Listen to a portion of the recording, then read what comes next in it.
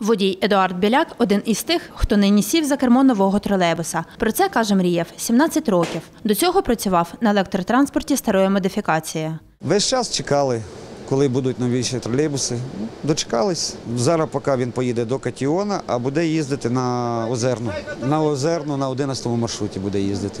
Сім нових тролейбусів обійшлися бюджету Хмельницького майже у 33,5 мільйона гривень. Поставило машини луцьке підприємство Богдан Моторс. Капітальний ремонт ще одного восьмого тролейбуса здійснила за рахунок комунального підприємства Електротранс. Це коштувало майже мільйон 200 тисяч гривень, каже директор підприємства Віктор Паламарчук. На сьогоднішній день, якщо врахувати тих 7 тонн на підприємстві, є 122 е, тролейбуси. Е, На лінію виходить в середньому 69-71.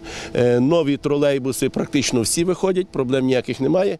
Нові тролейбуси обслуговуватимуть густонаселені райони міста. Це Озерна та Ракове. Пасажирів возитимуть з наступного тижня. Упродовж вихідних новий транспорт курсуватиме у тестовому режимі. Наталя Сідова, Володимир Саприкін. Новини Поділля Центр.